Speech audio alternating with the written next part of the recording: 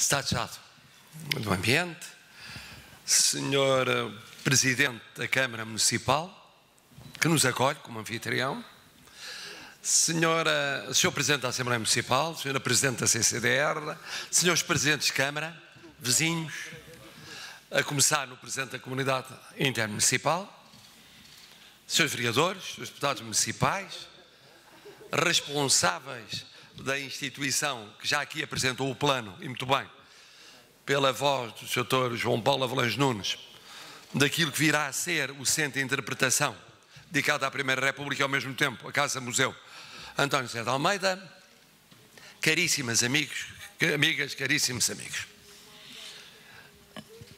Para mim é uma honra e um prazer estar aqui neste momento. A minha vinda começou há mais de um ano, ou há cerca de um ano, precisamente num contexto diferente, quando o Sr. Presidente da Câmara me falou nesta iniciativa, me formulou o convite e eu aceitei. Prometi que viria e vim. O contexto em que nós falámos era, na altura ainda, o contexto marcado pelos acontecimentos de 2017.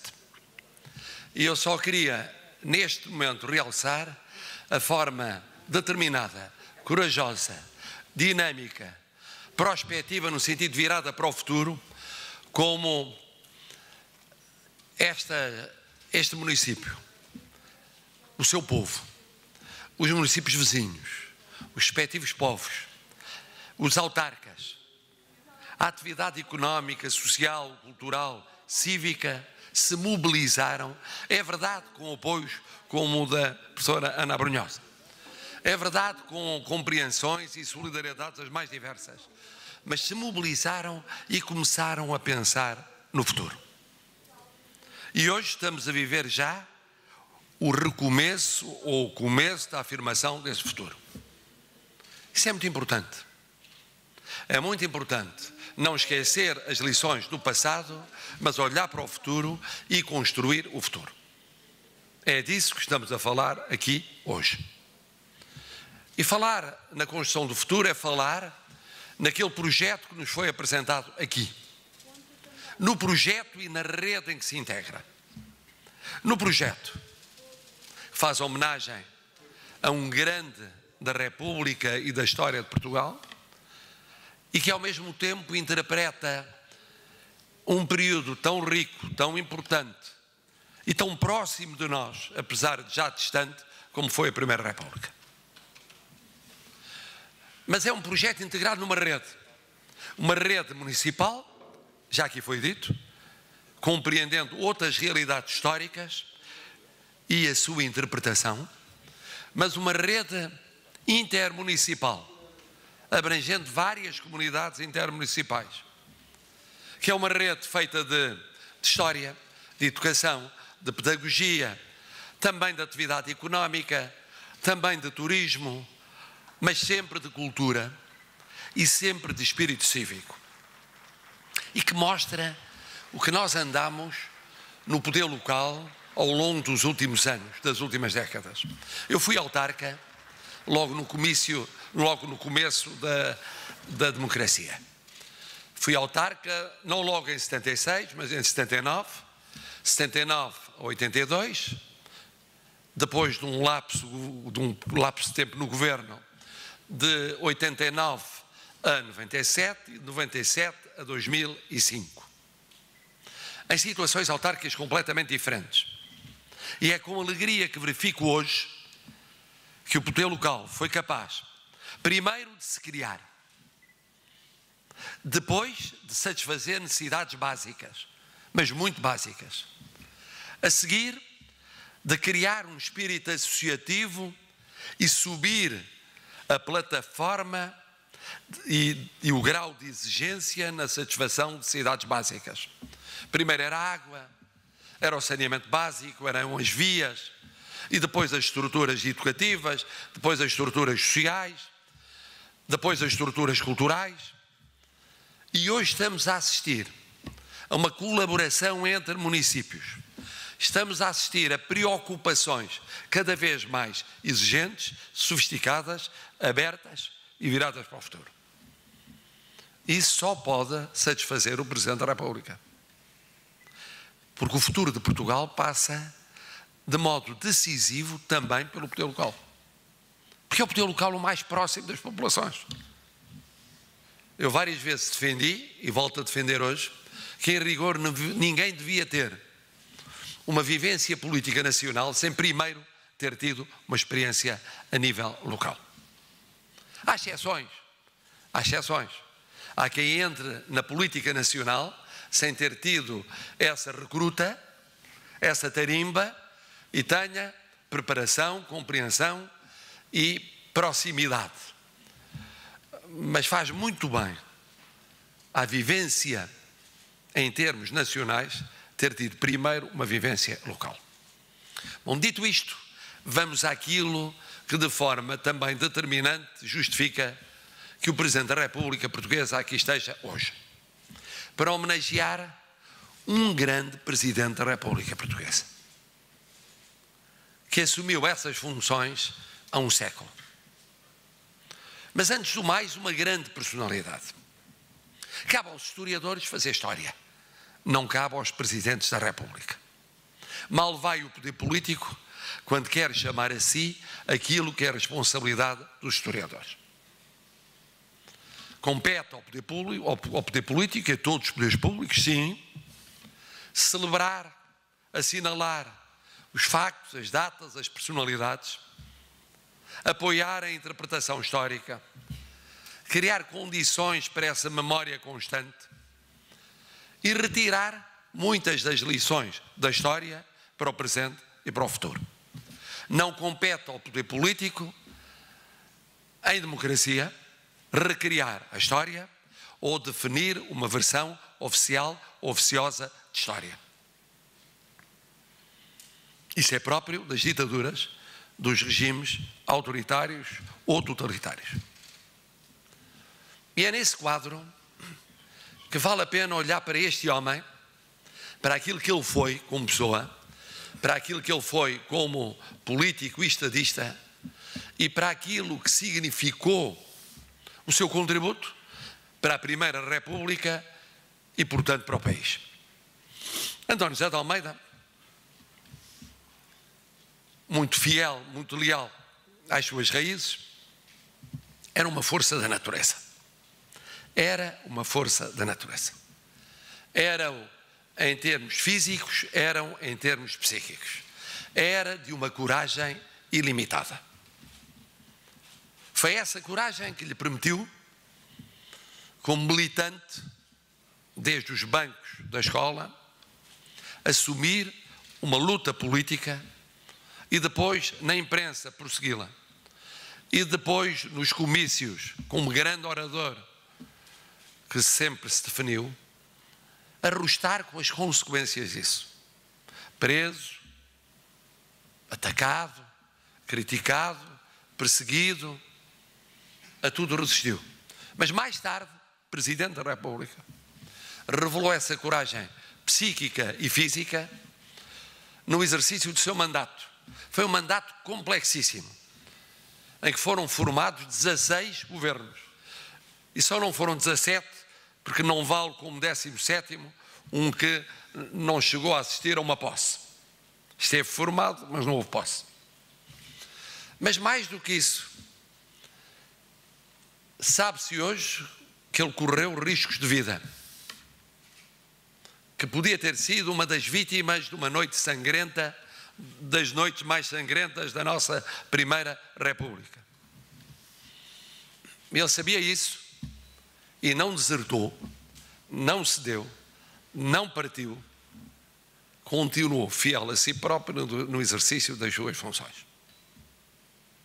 Mas além dessas características, eu somaria a inteligência, a preparação pela leitura e pelo pensamento, a capacidade de escrita e a capacidade de oratória, o poder de arrastar através do verbo e, portanto, de mobilizar e, portanto, de fazer pedagogia em todas as circunstâncias. Enquanto um dos líderes do Partido Republicano, depois, enquanto líder do Partido Evolucionista, enquanto governante, enquanto Presidente da República. A este conjunto de circunstâncias juntava, ou de qualidades, um coração de ouro por detrás daquela fugosidade, às vezes aparentemente destemperada, um coração de ouro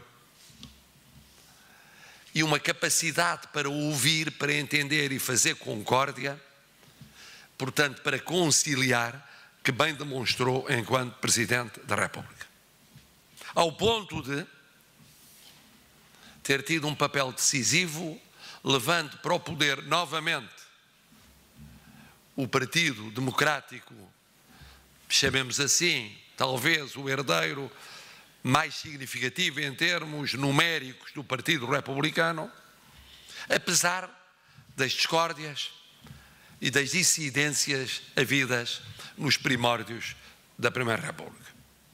Era, pois, uma personalidade notável, de um trato fino, de uma capacidade de aproximação e de uma paciência também explicada pela sua formação como médico tendo exercido a clínica, como foi recordado, nas latitudes e longitudes as mais diversas.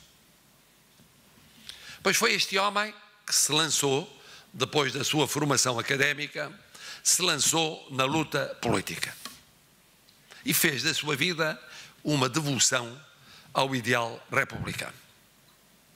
E aqui para um instante, porque as democracias precisam de pedagogia e uma pedagogia de todos os dias para não estiolarem e para não morrerem.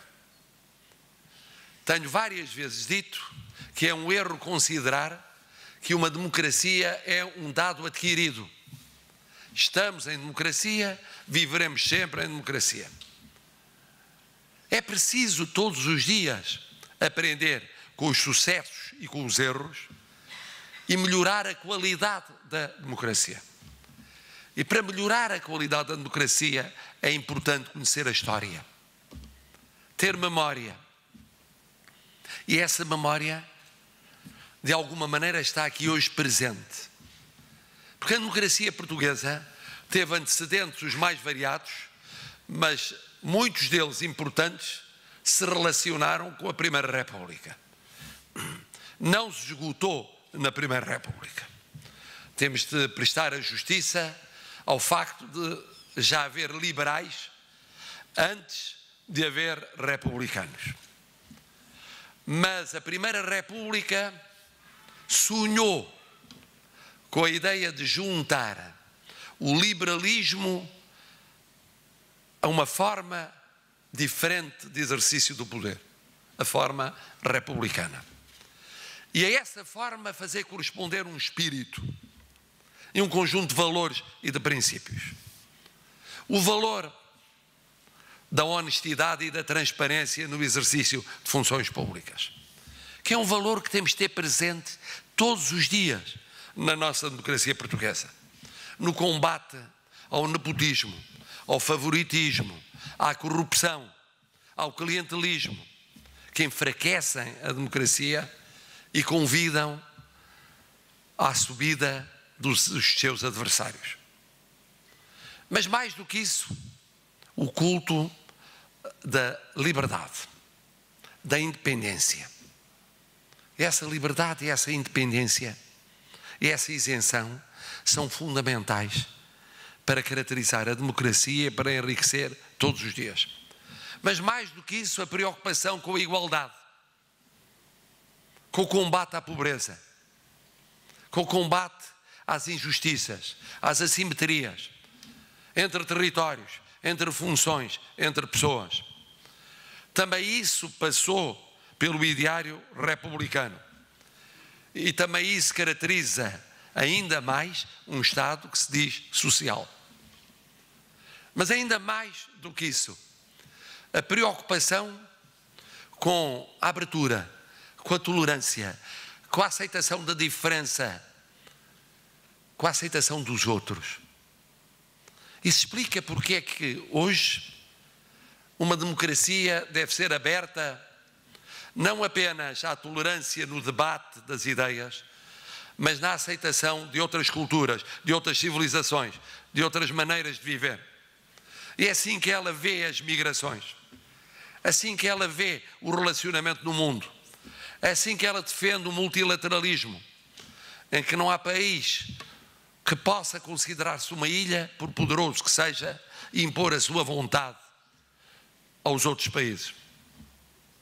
E da importância do direito e a importância do diálogo a nível universal. Tudo isto mergulha as suas raízes no ideário republicano, não apenas, mas também com uma preocupação com a instrução pública que teve António José de Almeida. Desde o ensino primário, diríamos hoje o ensino básico que reformou, até às universidades que criou, a juntar àquela que tinha sido a sua universidade. Mas mais do que a educação, as condições sociais de vida, a preocupação com o trabalho, com a solidariedade social, que despontam de forma tímida com a República, mas que se desenvolvam e aprofundam o Estado Social. Tudo isso é uma lição que devemos reter. É uma lição para a qual António José de Almeida contribuiu nas funções como ministro, como parlamentar, como líder partidário, como presidente.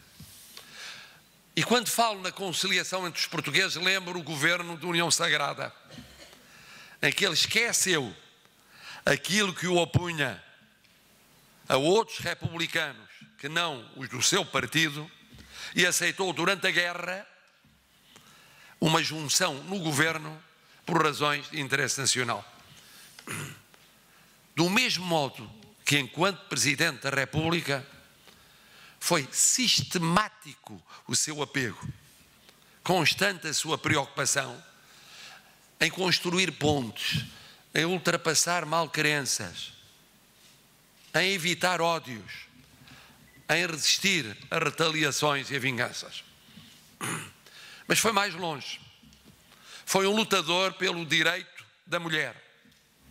Ele apoiou instituições que na altura eram pioneiras na defesa do direito, dos direitos das mulheres.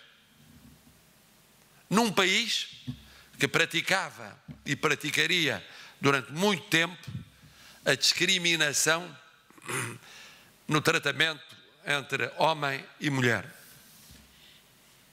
Do mesmo modo que ele foi um defensor da festa da árvore.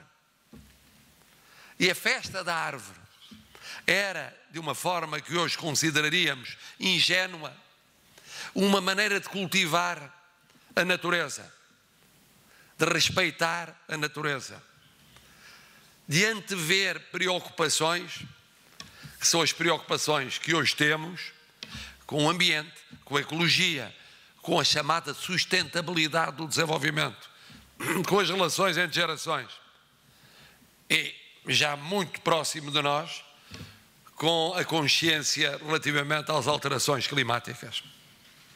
Em tudo isso, houve um traço de António José de Almeida, como houve no poder municipal na linha do Henriques Nogueira, já não digo de um Herculano. Ele era um municipalista, no sentido da proximidade do poder local. E a República não esgotou as raízes municipais, que as mais antigas vêm dos primórdios quase da nacionalidade, mas deu uma nova feição a esse municipalismo. Eis como o fazer a interpretação desta história, o olhar para este homem, o fazer o retrato da pessoa e da sua vida, é no fundo não apenas reviver o passado, mas retirar lições para o presente e para o futuro. Há pouco eu recordava, ao percorrer a exposição notável, notável, no critério da escolha das peças, na conjugação entre aquilo que vinha da sua casa, do seu espólio, e aquilo que chega de várias origens. Eu recordava que quando estive no Brasil e visitei várias das instituições, nomeadamente o Real Gabinete de Leitura, que ainda se chama assim, no Rio de Janeiro, por lá ecoavam ainda as palavras de António José de Almeida. Por lá tinham passado vários chefes de Estado. Ele o único em República. Mas depois vários na ditadura e vários em democracia. E, no entanto, aquele cuja memória ressoava mais alto era António José de Almeida. E a sua oração naquele local. Era um momento muito especial, porque celebravam os 100 anos da independência do Brasil. A expedição começou mal. Nós às vezes temos disso, às vezes temos disso, grandes ideias que têm pequenos percalços na sua concretização. Isso levou a que uh, o navio que o transportava, no dia que seria o dia da celebração da independência, estivesse no Atlântico. E foi aí que foi celebrada, em sessão solene, em que ele foi o grande orador e outro grande orador, o poeta João de Barros, seu grande amigo pessoal. Mas chegado embora com atraso ao Brasil, ninguém deu por esse atraso. Foi uma visita histórica. Porque era o reencontro da antiga potência colonial com a pujante República Brasileira. E foi uh, inesquecível essa estada, essa permanência, essa visita de António José de Almeida ao Brasil. Foi inesquecível na comunidade portuguesa. Lembrem-se que naquela altura, uma parte significativa do povo brasileiro tinha uma forte componente portuguesa. Herdeiros de portugueses há poucas gerações. Naquilo que foi um fenómeno único, foi uma independência em que foi o filho do monarca português que assumiu o império do Estado independente. Quando eu conto isto a alguns chefes de Estado estrangeiros, eles têm dificuldade em perceber. E quando eu os levo, ou sugiro que vão, visitar o quarto de Dom Pedro, o mesmo quarto em que a luz onde nasceu e onde morreu, ele que foi rei de Portugal, foi imperador do Brasil e que fez, portanto, a ponte estabeleceu o traço de união entre as duas pátrias. Agora imaginem o que deve ter sido emocionante. Ser a primeira vez, um século depois, que um chefe de Estado português punha pé no Brasil e falava em termos fraternais com não apenas os seus concidadãos, os nossos compatriotas, mas os quase compatriotas brasileiros. Não foi por acaso que António José de Almeida foi o único presidente da Primeira República a terminar intacto o seu mandato. O único. Um mandato mais curto do que os mandatos anuais. E que terminou rodeado de uma aclamação geral. E que terminou, infelizmente, doente e cansado por uma vida muito marcada pela enfermidade da gota, mas com uma pujança e uma vitalidade tal que não parou aí a sua vida política. Ainda se candidatou e foi eleito para o exercício de um cargo político. Mas depois foi uma vida muito abreviada pela doença. De tal modo que recebeu praticamente todas as condecorações possíveis e concebíveis na sequência do desempenho da sua, do seu mandato presidencial. Porque recebeu a Torre Espada, atribuída ao chefe de Estado no termo do exercício das funções, desde que foi reposta, entretanto, na Primeira República, mas recebeu também as condecorações máximas nas três ordens que integram a banda das três ordens que o Presidente normalmente usa e que deixa de usar quando cessa as suas funções. Cristo, Avis e Santiago de Espada. E nisso foi um caso pioneiro. Era a aclamação nacional António César Almeida. É bem justo que a sua terra, o seu município e já agora a sua aldeia, como eu gostava de dizer, integrada no município, lhe presta esta homenagem de forma duradoura. Porque estão a prestar um serviço fundamental à República e à democracia portuguesas. Porque estão a fazer história. Porque estão a recuperar memória. Porque estão a contar a gerações diferentes aquilo que desconhecem e têm de conhecer. Porque estão a avivar ideais pelos quais se bateu e que são destes dias também. Porque a honestidade, a verticalidade, a isenção, a transparência, o serviço da causa pública, o espírito cívico acima do egoísmo ou do interesse pessoal, a preocupação com a educação e com a igualdade social, o combate àquilo que divide e que discrimina, a promoção dos direitos fundamentais, a abertura, a tolerância, são cada vez mais importantes. No momento em que o mundo conhece e a Europa conhece uma onda que alguns chamam populista, que é uma onda de hipernacionalismo, de xenofobia, de intolerância, de fechamento, de radicalismo, de cerceamento de liberdades, de incompreensão perante tantas situações em que se impõe o combate às desigualdades. Contra essa moda é importante reafirmar os valores. E nisso não se é nem de direita nem de esquerda. Mais depressa o atual Presidente da República poderia ser considerado de direita do que de esquerda. Mas porque é Presidente de todos os portugueses?